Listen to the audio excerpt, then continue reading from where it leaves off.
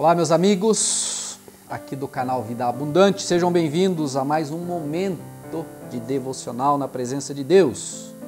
Salmo de número 37, versículo 25 diz assim: Fui moço e já agora sou velho, porém jamais vi o justo desamparado, nem a sua descendência a mendigar o pão. Olha que coisa espetacular. O salmista aqui está dizendo que um dia ele foi moço, que hoje ele já é velho, mas que ele nunca viu o justo desamparado. Que justo?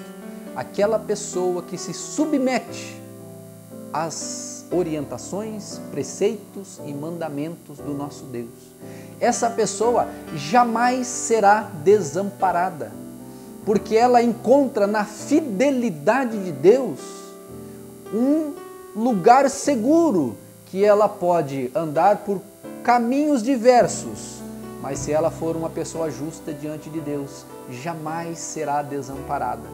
Então, o que faz de uma pessoa justa? A Bíblia também diz: todo aquele que elege, todo aquele que aceita e declara que Jesus Cristo é o seu Senhor, o seu Salvador e pratica as orientações da palavra de Deus, é justo diante do Senhor, porque em Jesus Cristo nós somos justificados e somos justos diante do Pai. Então, para estes, há uma realidade maravilhosa. E qual é esta realidade? Você jamais será desamparado.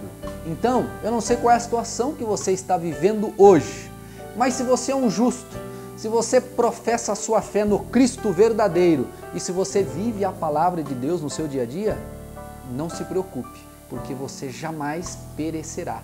Inclusive no momento do nosso país, muita gente perdendo emprego, situação, toda essa turbulência.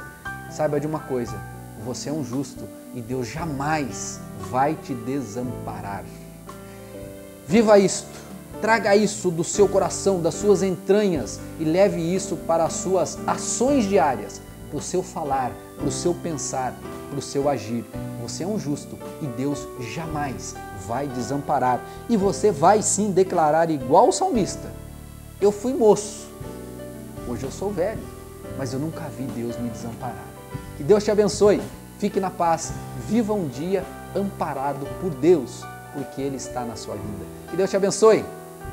Joinha aqui embaixo, compartilhe nas redes sociais e também se inscreva no nosso canal Vida Abundante. Ó, se inscreva.